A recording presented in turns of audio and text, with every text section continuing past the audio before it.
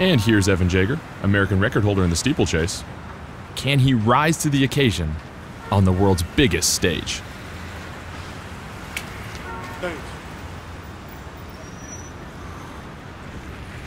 He's done it. What a performance! The best track and field athletes in the world are coming to Portland. Get your tickets at Portland2016.com.